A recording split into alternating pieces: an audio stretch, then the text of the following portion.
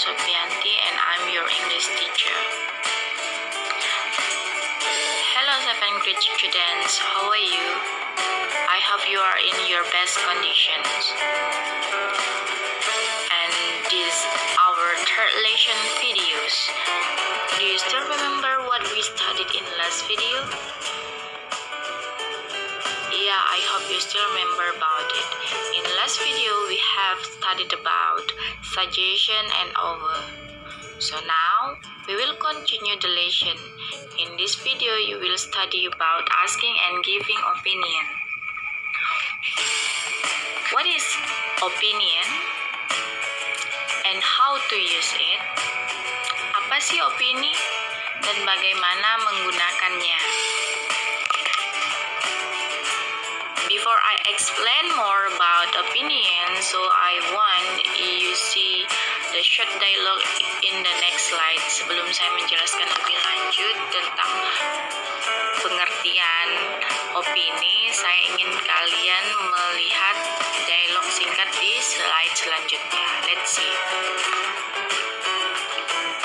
Okay, this is the example. Ini adalah contohnya.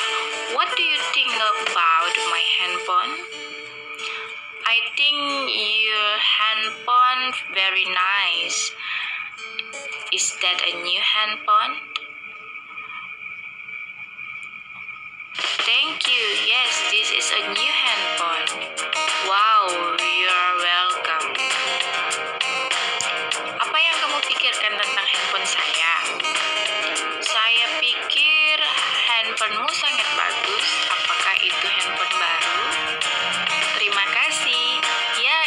adalah sebuah handphone baru.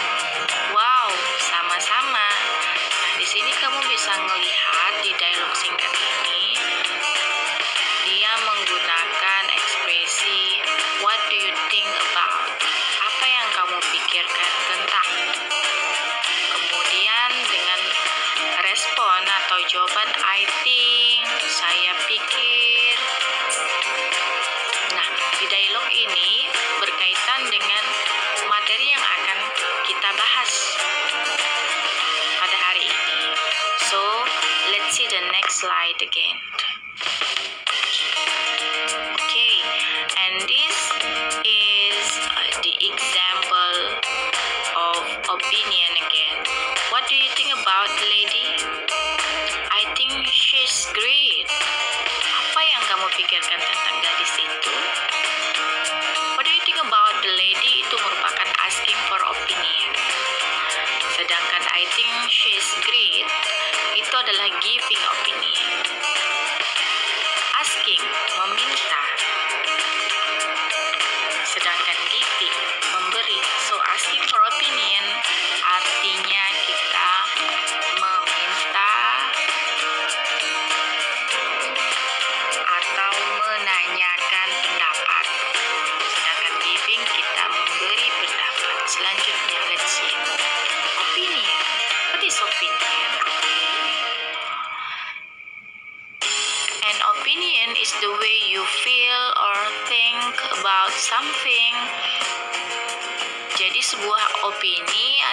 caramu untuk merasa atau berpikir tentang sesuatu.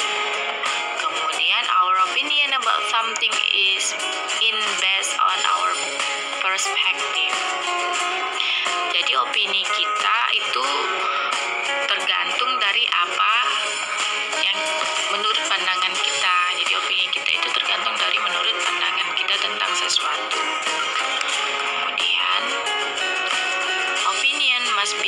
Supported by reasons. Jadi opini harus didukung dengan sebuah alasan.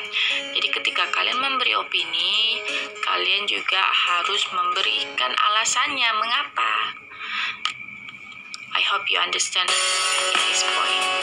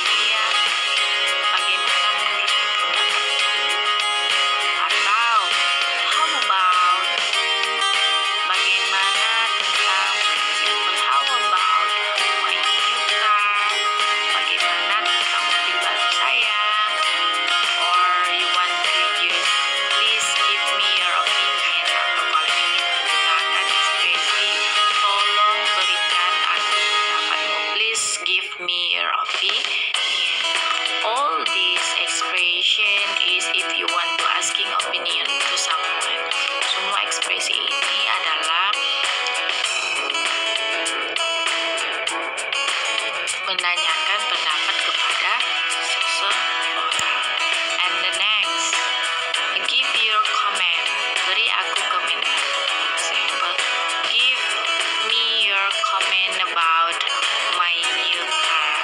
Sorry aku komentarmu tentang mobil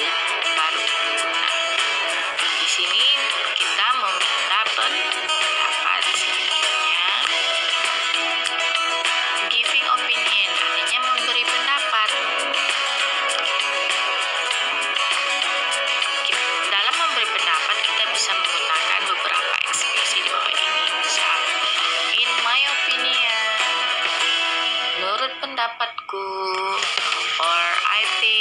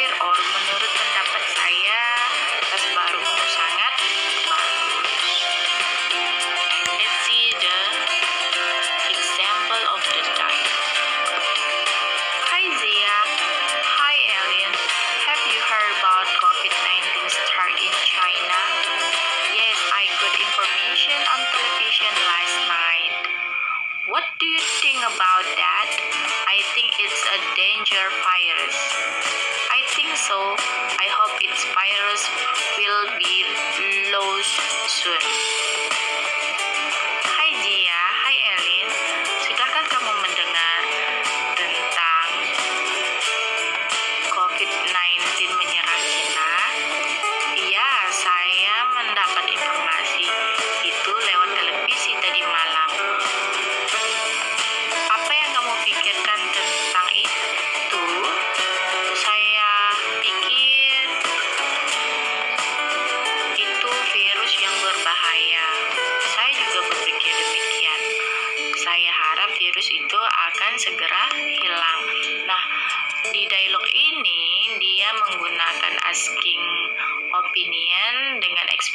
what do you think about it?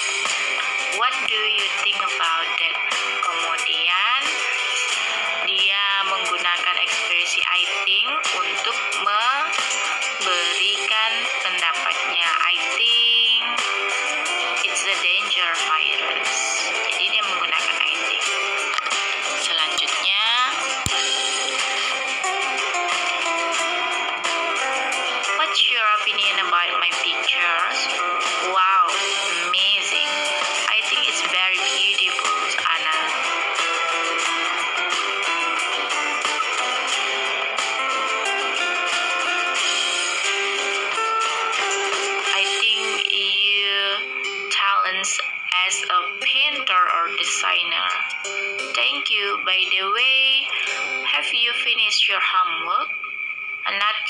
I have a problem about it.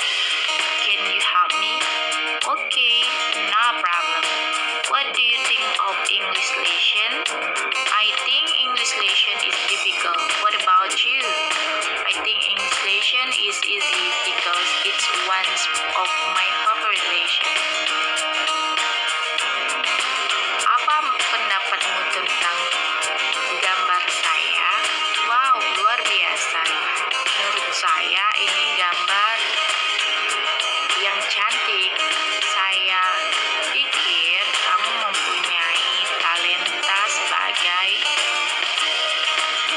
pelukis atau desainer perancang. Terima kasih. Ngomong-ngomong, sudahkah kamu menyelesaikan PR? Hmm, belum, saya mempunyai masalah. Bisakah kamu membantu saya? Oke, tidak masalah. Apa yang kamu pikirkan?